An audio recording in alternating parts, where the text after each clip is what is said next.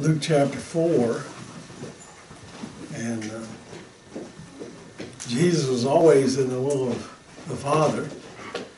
And uh, everything he said and did was in the will of the Father. Every prayer he ever I prayed, he got answered because he was always praying in the will of the Father. Now, I can't say I get every one of my prayers answered because sometimes I might not be praying in God's will. But Jesus always did. And uh, so we're going to look at Luke chapter 4, verses 16 to 21, and uh, read there. And he, in this passage, he's referring back to the Old Testament, Isaiah chapter 61. But right now, let's look at Luke chapter 4 and go down here to verse 16. And he came to Nazareth, where he had been brought up. And as his custom was, he went into the synagogue on the Sabbath day and stood up for to read. Well, I think he went to church. He probably carried a. Well, I don't, th- don't think he could carry his Bible, but they had big scrolls. And so he goes to church, and and they said it was his custom. I guess he didn't think you could worship God on the golf course as good as in church. I have, a, I have a lot of them tell me, well, I can worship God but in nature.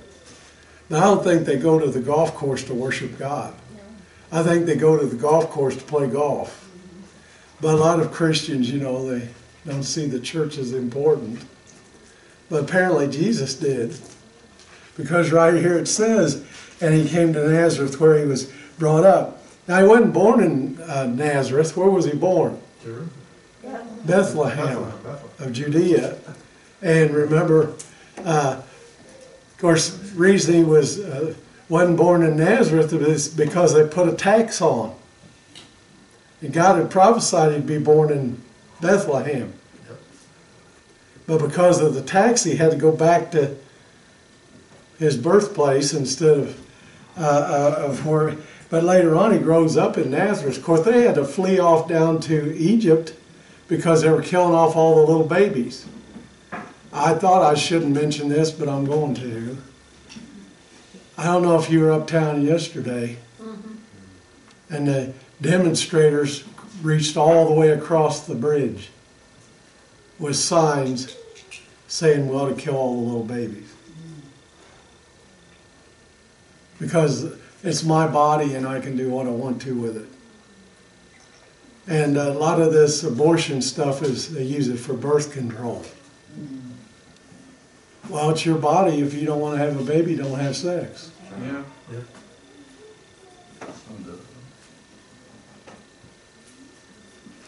But anyway, those kinds of things.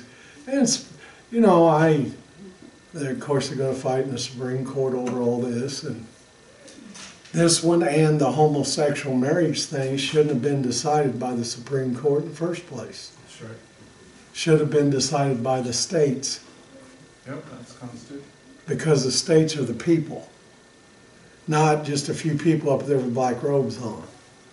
They're supposed to uh, interpret the law, not make the law. Congress makes laws, but who puts Congress there? Did you vote for some people to go to Congress? Well, the House of Representatives is closer to us, but the Senate too. You even vote for senators, don't you? I was telling Carol, how many here uh, ever said the pledge to a, cri- uh, to a, a flag with only 48 states, 48 stars? That kind of tells something about your age with it. Huh? Because back when I was in elementary school in the early, you know, early times, we didn't have Alaska and Hawaii as states. They only had 48 stars on there.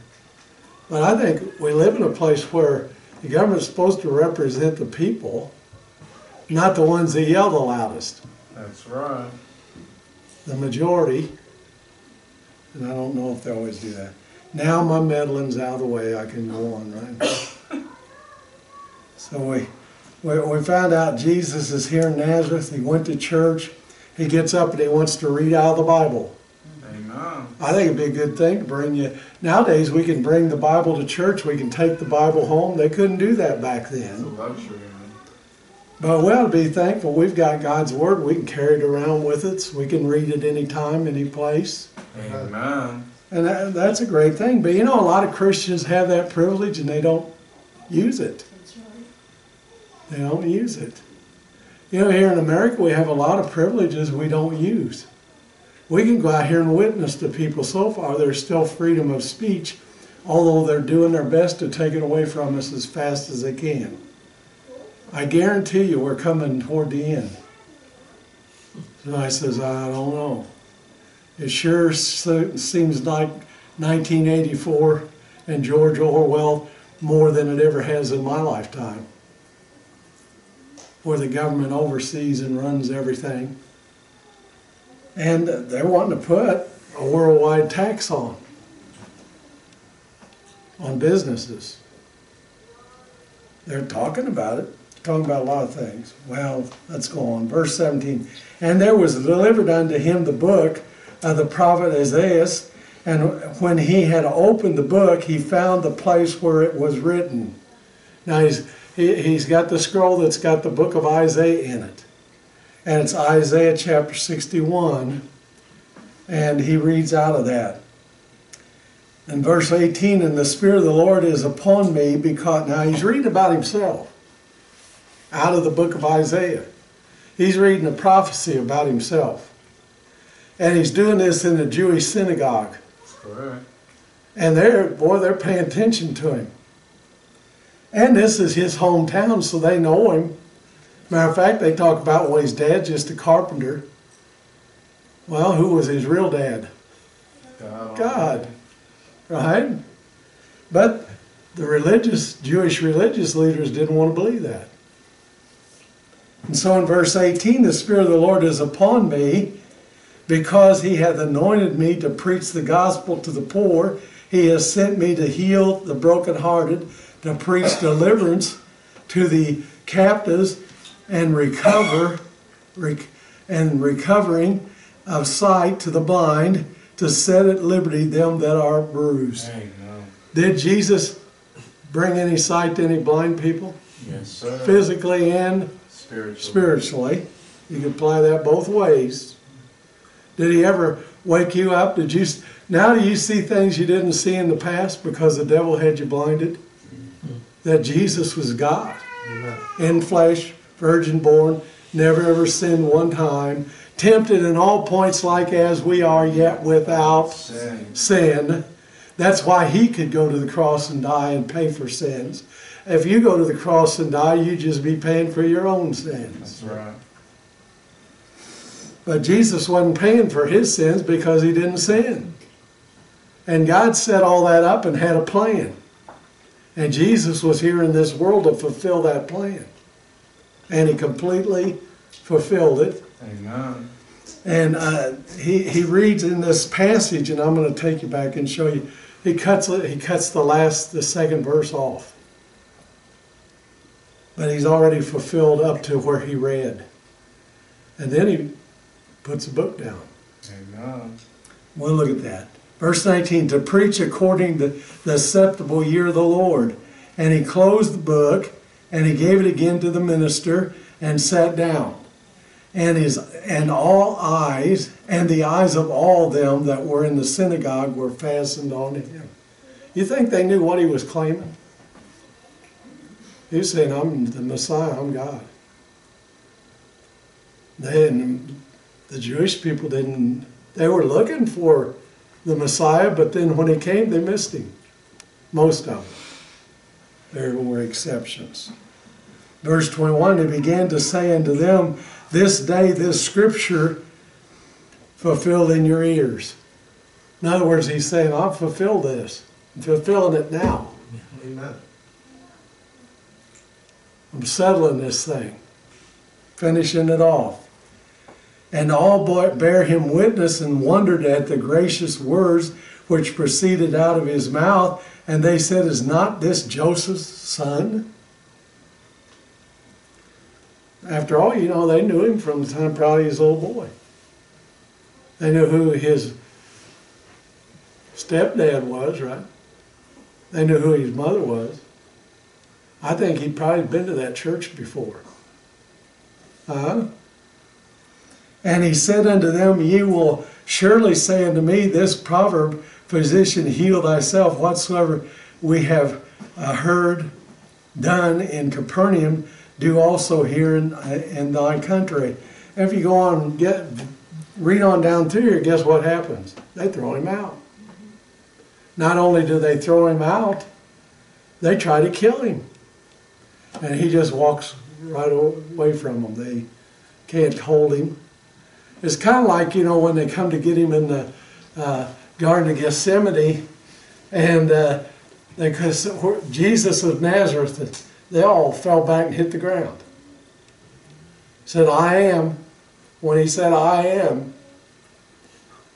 he had a little power, didn't he? You think maybe he was God? I don't think he was God. I know he was. And they didn't want to accept that. Now go back to uh, Isaiah chapter 61, and I want to read a little bit there. Isaiah chapter 61, and uh, we're going to read uh, verse 1 and start into verse 2. Isaiah chapter 61, verse 1. The Spirit of the Lord is upon me because the Lord hath anointed me to preach the good tidings. Is, that kind of what he was saying there in Luke? He's supposed to come and preach the good tidings. What's the good tidings that Jesus came and preached? Repent. Repent, and the kingdom of heaven is at hand. They could have accepted him as their king, but they rejected him. And ended up killing him eventually, getting him killed. And in that first verse, the Spirit of the Lord is upon me because the Lord hath anointed me to preach the good tidings unto the meek. He has sent me to bind up the brokenhearted, to proclaim liberty to the captives, uh, and to open uh, and the opening of the prison to them that are bound. Well, were you in prison? Were you in captive to the devil? Well, it goes all the way back to Genesis chapter 3. They sinned. And so they were held captive. It takes Jesus to come into this world to set us free. But if you reject him, there is no freedom. It gets me, you know, when they set up our country, uh, they uh, put in there says, uh, we have these uh, rights, life, liberty, and the pursuit of happiness. Well, some people think they got to guarantee you happiness. No, you can pursue it, but you might not get it. You know what? I think part of it's where you're pursuing it. That's right. If it's money and prestige and power, You always want more. You need to be content with what God gives you. Amen. Because it says content, con, contentment's great gain. But you know, uh, people get a little bit, they want more and more and more. And uh, the devil got quite a bit, and he wanted more and more. You know, a lot of that's pride, isn't it? Now we're down to verse 2 to proclaim the acceptable year of the Lord. And he stops right there. If you read Luke, that's where he stops. Right there at that comma. See the comma? Well, he came to tell people how to get saved. They rejected it. Then uh, he was fulfilling it up to that point. But you know he's going to come back one of these days and he's going to finish it off. That's right. Now let's read what he's going to finish off. He's going to come back and all the ones that reject him, he's going to judge them. And the day of vengeance of our God to comfort all that mourn. Well, you know, somebody, I, I, I think a lot of people, maybe some of these little babies they've murdered, aborted. Will God bring vengeance on people that have abused children? Yeah. Eventually. Well, Bible says that uh, if you abuse the little ones, says, Suffer the, uh, the little ones to come unto me, for such the kingdom of God. Amen. There ought to be a millstone tied around your neck and you thrown in the sea. Well, I think that'd be pretty radical, don't you think? Well, here in America, we, you know, it gets me, the people go out here and kill people and kill people and kill people. They put them in jail, let them back out. We always want to make more laws, why don't we enforce the laws we have? That's right. Different. We can't, all, all they do is just push it down the road. Now, I maybe need to be careful what I say, but it's hard for me to do that. Because if the Bible says it, that's the way it is. Amen. And I don't understand everything in the Bible, but I can understand quite a bit. I understood enough to get saved. Have you understood that much yet? Amen. Does the Lord open your eyes up? You to believe Jesus came and died on the cross and paid for your sins. You know something else though I think is real important that a lot of people forget? A big part of getting saved is repentance. If you're not sorry for sinning and you don't want to change, I don't believe you can get saved. That's right. But the Bible and, and people have said, you know, we're going to come to the day when nobody they won't repent. They don't really want to change. They'd like to have a fire escape. They they don't mind carrying Jesus around the trunk, but they don't want to get him out There it is. Except when they need something. They don't want him running their life. They don't want him telling them anything about how to live. Well, I got to move on and get into this. I'm still introducing. and uh, notice verse, uh, go back to Luke chapter 4, and verse, notice verse 20, 420. And he closed the book and he sat down and he closed the book and he gave it again to the minister and he sat down. Now that's my sermon right there. Well, you think I'll just go on home now? Or you think maybe I'll explain those a little bit? Well, what do you think I'm going to do? Go on home or explain them? Uh-huh. And when he had finished speaking, he closed the book. He closed the book. That this is like an accounting term. Do they close your books every year? You go face the IRS if they don't. Isn't that about the way it works? It's true. How many here want to mess with the IRS? No time. I- I'd rather avoid the government as much as I can. And so this is an accounting term. All transactions are finished. You think the Lord finished everything? Amen. He closed the books. Did he die and pay enough on the cross to save everybody that wants to get saved? Yeah. So he closed the book, didn't he? On the law. And uh, like I say, that's a, all the columns uh, balanced, everything is in order. You ever have trouble balancing your checkbook? Well, I don't think the Lord has any trouble balancing his. But, uh, and he closed the book of the law. Are we under the law anymore? No. But we need a law in our heart. See, that's different, isn't it? That's a, to me, that's a higher law. You know, you can make a list of rules, but it's not just keeping the list of rules. It's best if you want to keep them. But we have grace. We can, we, we have free will. We can say, Lord, Lord, I'm not going to do it. I'm not going to go to church. I'm not going to read my Bible. I- I'm not going to witness to anybody. Most of us aren't going to say, I'm not going to pray because when you get in trouble, you pray. When I was in, going to Vincennes University, the guy says, Well, I don't believe there's a God. But when he was bowling and he wanted to win, he'd pray and ask God to help him win. Well, he's praying somebody doesn't believe exists. Well, that's what he was saying, wasn't it?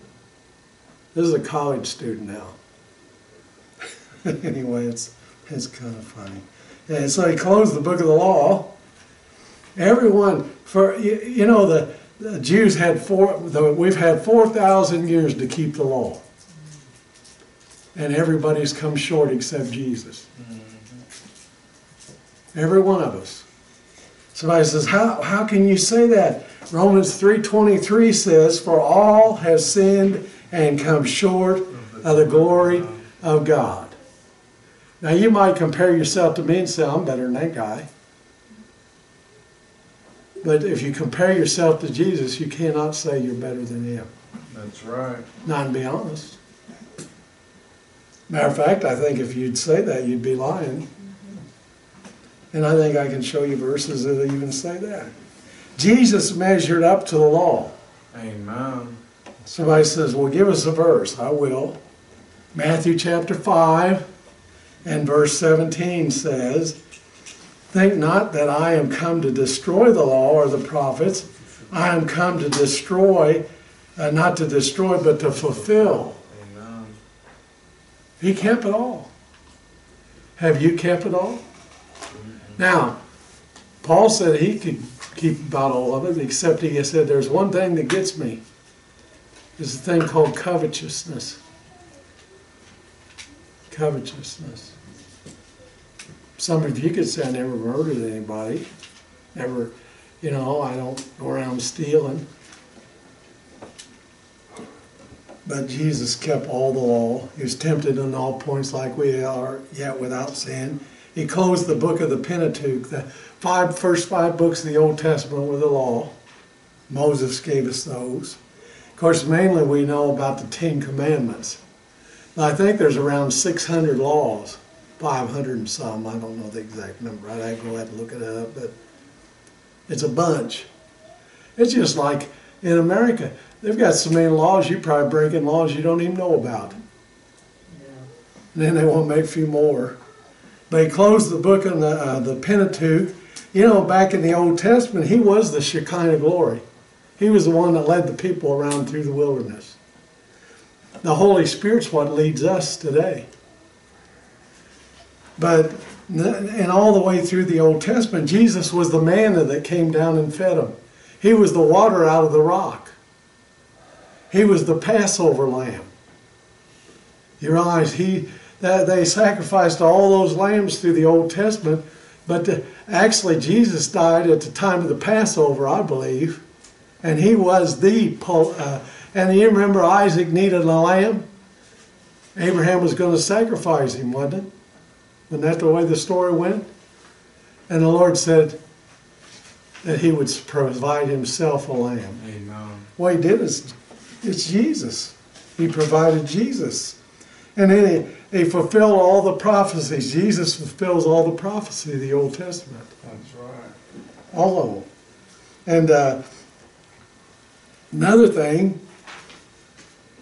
wasn't for the Lord, none of us would have any life. You know, they're saying, well, it's my body, I can do what I want to with it.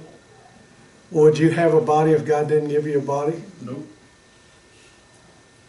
Would you have physical life if God didn't give you physical life? Could you have eternal life, spiritual life, if God didn't give you that? Nope. So did he? Does he fulfill? Uh, you know the constant, uh, the Bill of Rights, I think it is, talks about how life, liberty, and the pursuit of happiness. Well, if you don't have life, you don't have anything. That's step one. That's that, that's where it starts. A lot of these little babies don't even get a chance to start. It's ridiculous. I always like to see little kids. It's neat how their little fingers work and their toes. Uh-huh.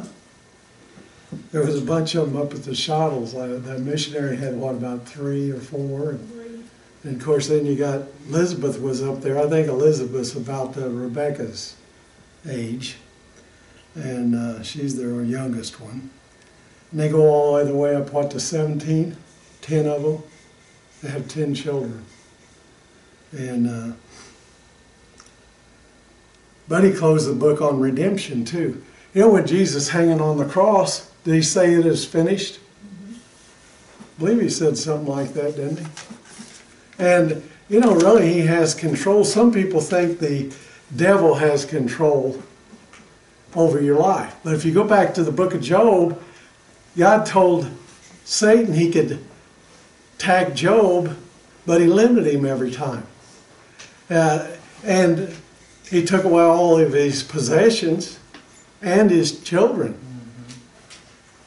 But he, the Lord said, You can't touch him. And the devils came back and said, uh, Well, anybody could stand up to losing everything. Let me touch his body. And the Lord said, Okay. And Job's sitting there on an ash heap, scraping the sores on his body from head to toe. But he tells Satan, he says, But you can't kill him. So who had control over life? Really, who has control over life right now? Is it the devil no, or God? Look at Matthew chapter 10, verse 28 29. Matthew chapter 10, verse 28 29.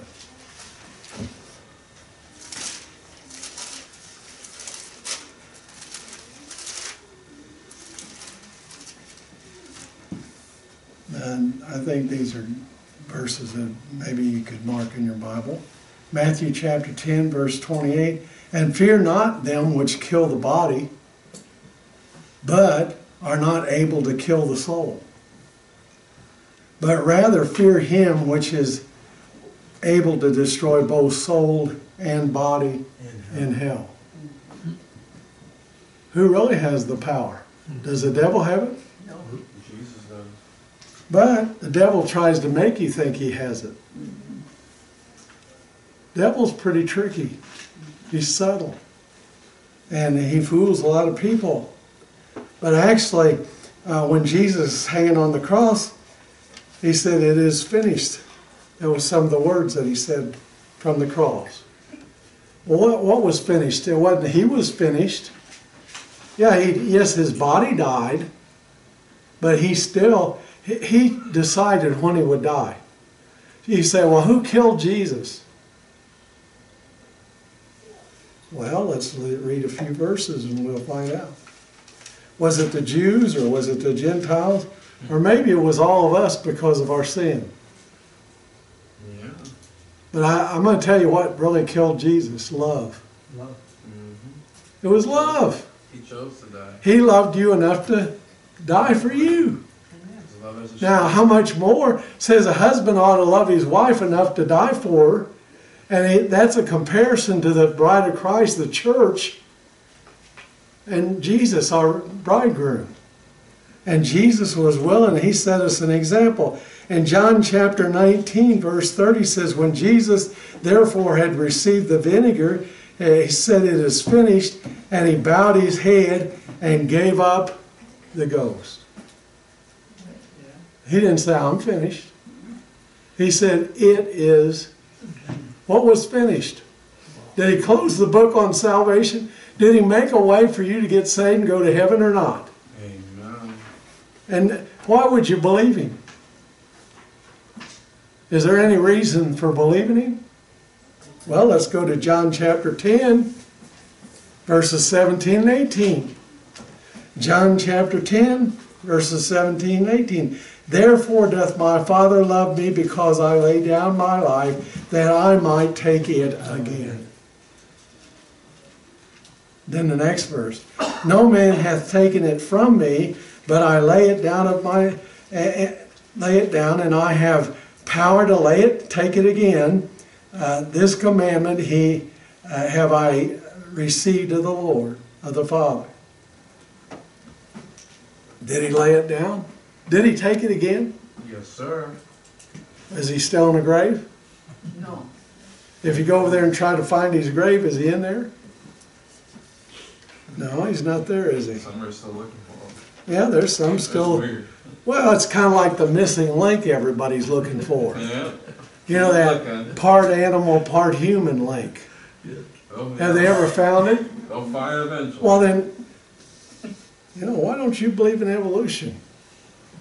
Don't you believe you evolved from some ooze? Doesn't that even go back to this abortion thing? That's just some tissue in a, a woman. No, it's a baby. Amen. It's a human, not completely, but it gets developed pretty quick. It's a human from the time of conception, the Bible teaches. That's right. And uh, I had some other verses I wanted to give you here. Well, I guess I could give you my outline. I haven't even given you my outline, have I? Uh, So we first, found that intro. first point, the first point is, when he had finished speaking, he closed the book. He closed the book. He closed the book on prophecy. He closed the book on getting you saved, didn't he? Yes. Is it settled? Are you as good as in heaven right now? Yeah. Mm-hmm. Didn't Jesus come out of the grave? Then can you come out of the grave one day? See? So we look at these things. Second point, he gave the book to the minister. He gave the book to the minister, if you read our text. You know, what a responsibility. It's up to you to tell people about Jesus now. Amen. Didn't he give you the book? You ever told anybody about Jesus? Anybody, did anybody tell you about him? If somebody didn't tell you about him, you're probably not saved. Right? Somewhere, somewhere along the line, somebody probably had something to do with that. Of course, Jesus had the ultimate part of it, didn't he? He made the way for you to get saved. He gave us the gospel, the good news of salvation that you don't have to die and go to hell. Some people say, I don't believe there's a hell. Well, Jesus did. He preached about it quite a bit. But he gave, he gave the book to the minister. What a responsibility, what a privilege. When a preacher goes into the pulpit, he represents the king. Somebody says, Well, what about us? Well, you're ambassadors. Amen. I'm an ambassador. He, he, he holds the preacher from the. Uh, I need to pick up my Bible and preach out here, right? What else do I have to preach? Current events? Huh? Well, in a lot of churches, that's the kind of stuff you're going to hear. It's Girl Scout Sunday, it's Boy Scout Sunday. I've been in churches like that. They, they don't read many scriptures. You know, really, we ought to be telling people about Jesus and how he's going to come back one of these days. But when he comes back, if they're not ready, he'll judge them. We ought to have great expectations because the, the book is the answer to all the problems of the world. Well, I don't know. I thought the Democrats had it, or the Republicans had it, or the president. Matter of fact, if you had a one world government, who would you want to run it? Who could you trust? No human. Because when humans get power, they want more power. And now what happens? I think we better have Jesus run the world. Don't you think it'd be better if God was running things? I, I don't think his pride would get the best of him. That's right. Uh huh? Never. I don't think so. And he holds the key to heaven, and we should never be ashamed of the gospel. Romans chapter 1, verse 16. But if you go out here trying to tell people about Jesus, some people are going to, they don't like it. They might say something mean to you. Mm-hmm. They might even punch you. Matter of fact, when I was in Bible college, there was this young fellow, Tom Solosi, he's from Cleveland, Ohio, and he was raised in the Catholic Church. And uh, uh, the Catholic Church back then didn't want any of their people going visiting Protestant churches. And he heard there was this revival, and he talked his mother into going to this revival at Cleveland Baptist Temple. And they got saved. Well, he had a lot of these friends that were Catholics that he grew up with. And he told one of them, he says, You know, Mary had other children besides Jesus. And the guy said, No, she was ever virgin. Now, what the Catholic Church says? But then he showed him in the Bible a list of some names Yeah. after Jesus was born. She was virgin until after Jesus was born. But the guy punched him. Because it made him so mad that it was against what he'd been taught for all those years. You know, I, I don't know, what's the word you use? Temperance, tolerance? Well, you know, I'm tolerant as long as you go along with me. Isn't that what the, a lot of people are? In the past, tolerance was, I might not agree with you, but I'm not going to hurt you over it. But I have a right to my opinion, and you have a right to your opinion. Exactly. Now we're to the point, no, there's only one opinion, it's mine. And yours doesn't matter. No, it's not really about me, it's about God. Isn't it? Mm-hmm. It's not about you either. Who's really going to have the final control when we get down to the end of the things? Be God will. Romans 1.16 says, For I'm not ashamed of the gospel of Christ, for it is the power of God unto salvation to everyone that believeth, to the Jew first and also to the Greek. Most of you are probably Greeks, Gentiles. Then my third point, he sat down. Amen. Jesus sat down. And there's verses said he sat down at the right hand of the Father up in heaven. And he's interceding for you. And if the devil comes up and accuses you, you, he stands up and defends you. Do you stand up defend him when people attack Jesus? Should you? Well, I can. I don't care, you know, whether you eat offered idols or not. I, you can even wear a colored shirt instead of a white shirt. Used to be people wore bell-bottom pants. Mm-hmm. But now, if you start attacking and saying Jesus wasn't God, that's going to upset me. I'm gonna have a discussion though. I have to show you the Bible says he was God.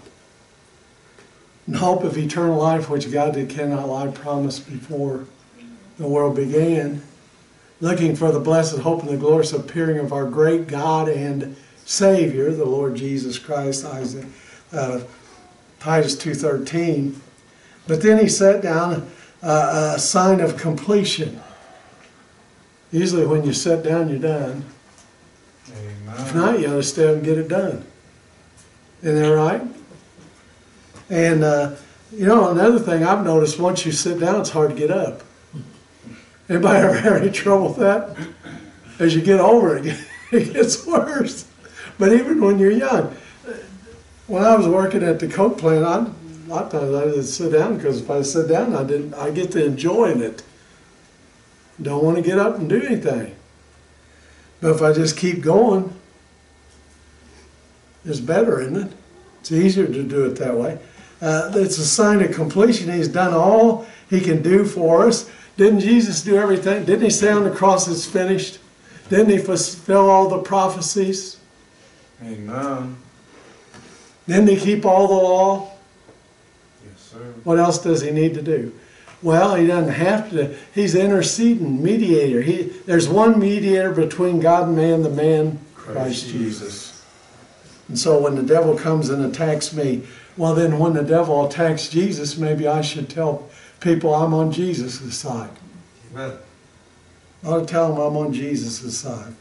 You know, really, the battle begins for us. You know, in the Roman uh, times, they'd sit up there. Uh, when the emperor came in and sat down, that's when the game started.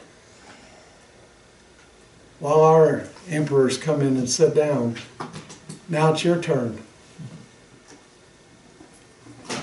Isn't it your turn? Right, you're in a battle the gladiators would come out. They'd turn the lions loose on the Christians. Isn't that what they did or not? Mm-hmm. Who's the roaring lion going about seeking whom he may devour? That's Satan. And so you see, he said, once Jesus sat down on the right hand of the Father, he's up in heaven interceding for us, but we're down here fighting a battle. And it is a battle. Brother Shottle had a hat on says God's I'm in the Lord's army. I've got one of those too. Now, I don't think that's like the army Jim was in, American Army. But I think it's just as much a battle. Amen. Not more so. I think it'd be just as much of a battle. I think there's a lot of hand-to-hand combat involved in it. You know, you've gotta look them in the eye. That's right. That's kind of gets scary sometimes. But Jesus came in on Palm Sunday riding in on that little donkey, offered them salvation, they rejected it. But we call that the triumphal entry. Well, it was for Christians or people that believe. But the real, for the lost people, the triumph, he'll come back on a white horse one of these days. And he'll come in judgment. He'll come and judge.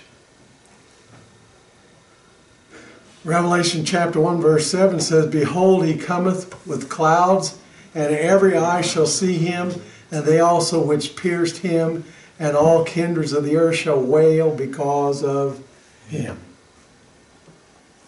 But if you're saved, you'll be coming back with him. That's right. You won't be down here to be judged. You'll be in heaven coming back with him to set up his kingdom on this earth. And then Romans chapter 14, verse 7 says, For it is written, As I live, saith the Lord, every knee shall bow to me, and every tongue shall confess to God. Every knee. I think we could take the song that says, Turn thy turn your eyes upon Jesus, look full in his wonderful face, and the things of earth will grow strangely dim in the light of his glory and grace. You know, Christ has redeemed us. I've got other verses I could put in here. Galatians 3:13, Christ hath redeemed us from the curse of the law, being made a curse for us. For it is written, Cursed is everyone that hangeth on a tree. And then if I think it's Ephesians where you go over there, it says, Put on, stand strong, put on the whole armor of Christ, and we're in a fight. And somebody says, Well, I don't know, I don't see an army coming against us. No, it's uh, invisible. They're demons. Somebody says, Well, I don't believe in demons. I do. Amen. Well, the, the, right now they're talking a lot about this UFOs out there. I think there's UFOs out there. Yeah. I think there are good angels out there and bad angels. Mm, there it is. I think there's a lot of things. Well, I thought Manny'd probably be up on this. Now they got that telescope. See that on the where they've been showing that black hole mm-hmm. Yeah, well, closer than it's ever been shown before, and it just Take a sucks picture of it. sucks everything in. Well, I was talking to Carol. I said, "Wonder when, wonder when that all started." Yeah. Did it start in Genesis 1 1? You created the heaven. How far out? Pretty far. Well, how big is God? How little is God? He's big enough to know it all and run it all, but He's small enough to fit in your heart. That's right. Amen. Amen. Have you got Him in your heart? If you don't, you need Him. You need Him. The Bible says today is the day of salvation.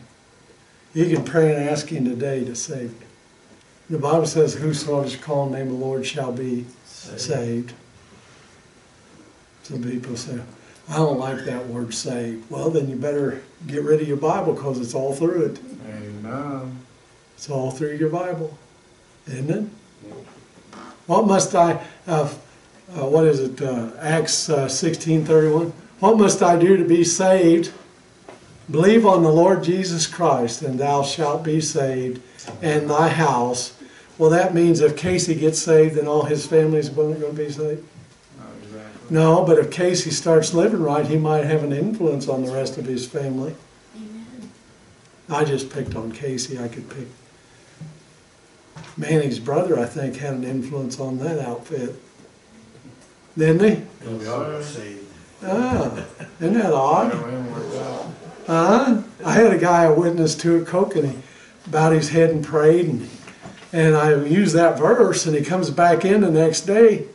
His name was Napier, and he, he says, now his wife had been in the Jehovah's Witness church for years. And he says, Does that mean my wife's saved too? I said, No, but she can get saved like you did. That's right. And that's the phrase to believe. But you know, you gotta, sometimes you quote a verse and you might have to go back and help explain it. Let's all stand.